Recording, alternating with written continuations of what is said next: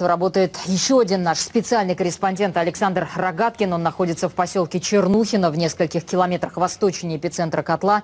Именно там украинские силовики предприняли попытку прорыва из окружения. И только что мы получили его специальный репортаж. Буквально сейчас стало известно, что вооруженные силы Украины в Дебальцевском котле все-таки приняли решение сдаться. Но пока идет со всех сторон бой, и мы еще даже не знаем, что, чем все закончится. Но вместо сдачи в плен позиции ополченцев неожиданно стали атаковать. В Чернухино за Луганской армией всего одна улица. До украинских позиций буквально 200 метров, а само Дебальцево в прямой видимости.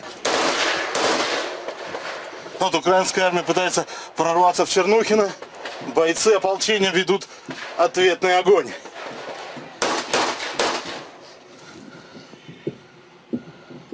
Уходим. Ополченцы рассредоточились по всему селу. Местных жителей из Чернухина удалось вывести еще на прошлой неделе, тоже под обстрелом.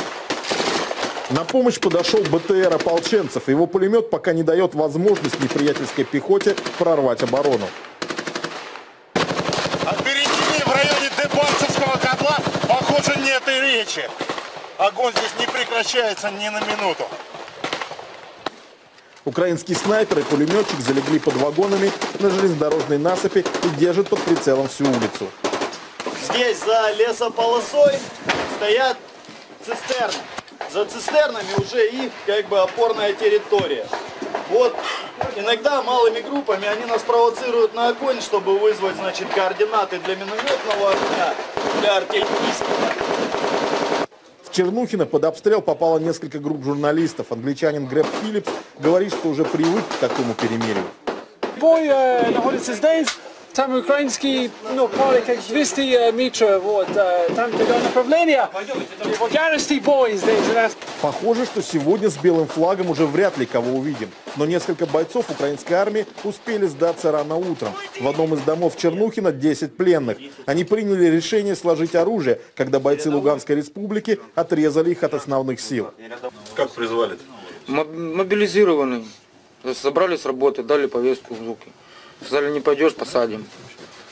Знают ли нападавшие о том, что они обстреливают своих же, или это попытка их отбить, но мины ложились прямо во дворе дома с пленными. Идем бой.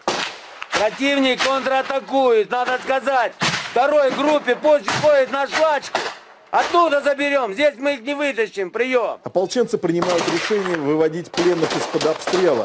В самый опасный момент их даже прикрывают бронежилетами от пуль уже бывших сослуживцев. Ложись, ложись, ложись, говорю. Атака на Чернухина и огонь по своим же военнопленным лишь подтверждает, перемирие украинские подразделения в Дебальцевском котле соблюдать не хотят. Кто не сдается, тот будет прорываться из боя.